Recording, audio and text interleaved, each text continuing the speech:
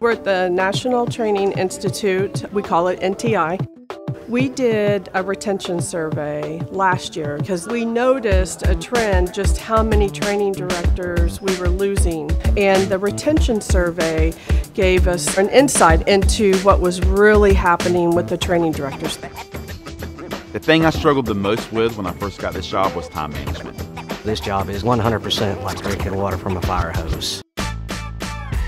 Most of them, when they come in, they think it's a 40 hour job, and it's actually not that at all. You know, they're running a small university. The biggest challenges would be the roles and the responsibilities that you have to the different organizations that support us, the NECA contractors, the IBEW local, uh, and then the apprentice themselves. One day you might be a counselor for an apprentice. Uh, sometimes you might need to be investigating a situation that arises on a job. Someday you might need to be disciplinary. Some, some days you're going to be ordering materials.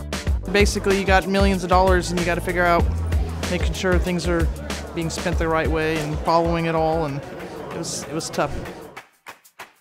We, as an industry, need to do a better job of educating and informing the training director applicants of what is included in the job.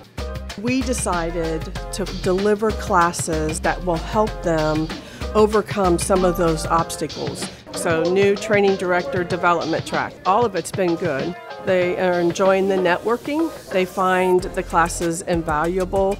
Coming to NTI and have somebody that's been in it for a long time speaking to the newbies and giving us good pointers, that helps a lot. The first day, took like eight pages of notes, like the nuts and bolts of how this works. There's a lot of moving parts in the apprenticeship. Got to understand them all, and this has been a, a, really good training. We learned about all the policies, what the legal jargon in our policies mean. It's been very, very helpful. We want to make sure that our train directors know that we're here to support them and help them be successful. Having this curriculum for our train directors is all about producing qualified electrical workers.